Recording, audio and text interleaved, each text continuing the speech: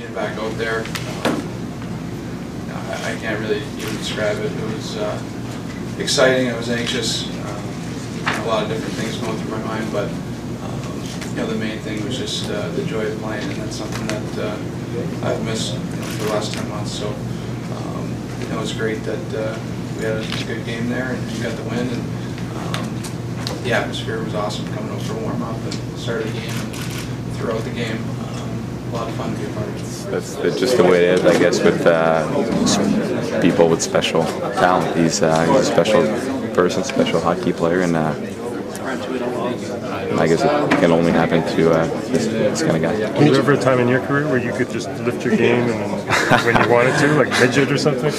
I don't know, maybe going back, maybe like Pee Wee or something. You can dominate a game like that after being off for a little bit, but uh, this is the NHL. It's uh, the best player in the world. He's coming back from being out almost 11 months, and he dominates a hockey game like that. It's uh, it's pretty special. You know, it felt like I was waiting forever. You know, it kind of was in a way, but um, you know, I've been, been waiting a long time to, to have this chance to go out there, and you know, whether I scored the goals or, or whatever happened, uh, you know, I was going to make sure that uh, you know I give my best effort, and um, there was a lot of energy uh, in store there after after missing that amount of time. So. Yeah, it was just uh, something that I've been waiting for for a long time, and happy it went well. So. Sid, uh, you scored your first goal and then the emotion that seemed to come out of you. Uh, Could you just describe that? And then it seemed you caught a a replay on the big screen and kind of caught on the bench laughing about uh, seeing yourself react to that goal. What- what Don't read lips. Did you keep the puck, keep the game puck afterwards? Yeah, um, yeah, I was obviously really excited. Uh, you know, part of waiting to play is, is you know, you're also waiting to hopefully get that first one, and came pretty early, which was nice. And um, yeah, I was watching the replay and read my lips, and hopefully everyone wasn't reading lips at home, but uh, it was uh, it was pretty exciting, and um, couldn't hold that in. So. You get a feeling that uh, Sid's back, and he's uh, he's back for real. He's uh, he's got his game uh, his game back, and he he means it. He he went out there battle. Uh, obviously, you guys saw the highlight goal, and like I said, he.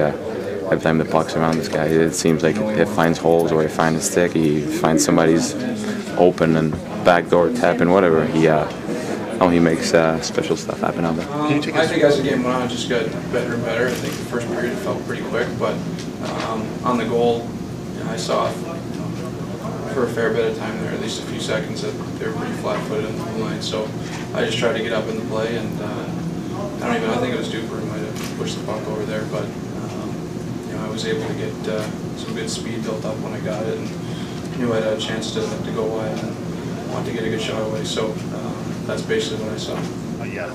uh, basically get the puck from the defenseman. And uh, when you see when you see Sid coming through the middle like this uh, with a lot of speed, uh, obviously they won't really catch him. He made a nice move and back and shelf only. Uh, you get a straight blade like Sid can do that. Did you say anything on the bench to each other? Yeah, he was he seemed pretty pumped. He uh, could barely catch his breath when he was celebrating in the corner, but uh, no, it was uh, it was it was great. I I felt uh, I felt pretty good, but yeah, there's certain areas where you know pucks in my feet, little things that uh, are just game situations that you know you have to get used to reacting to and being ready. And um, there are other parts, yeah, I was was pretty happy with the way it went. And you work hard in practice to try to make sure that uh, you're as close to ready as possible. But there are still things that uh, I need to improve on. And um, I didn't play a whole lot. Still kind of kind of felt it after I don't know how many minutes I ended up playing, but. Um, you know, I'm gonna have to get ready to play a little more than that too. So that'll come with just playing games.